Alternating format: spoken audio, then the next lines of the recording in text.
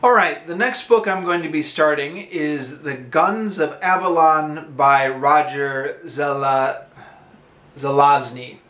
Uh, this is the next book in the Chronicles, Chronicles of Amber series. Uh, I just finished the first book, Nine Princes in Amber.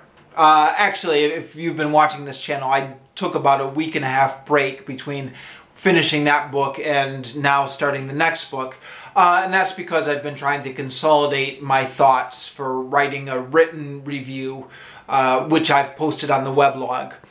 Uh, in in that time, I've been keeping myself busy uh, with some of these other books here, uh, being Wagner, uh, learning English one to one, and of course, where is it? Ah, here it is.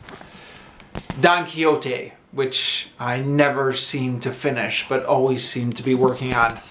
Uh, but anyways, uh, having finally finished the written review of uh, Nine Princes in Amber, I'm going on to the second book now, The Guns of Avalon. So this, as I mentioned before in my previous video, uh, these are five books that have all been collected into one volume, but I'm reviewing them separately because they were originally published separately uh, back in the 1970s.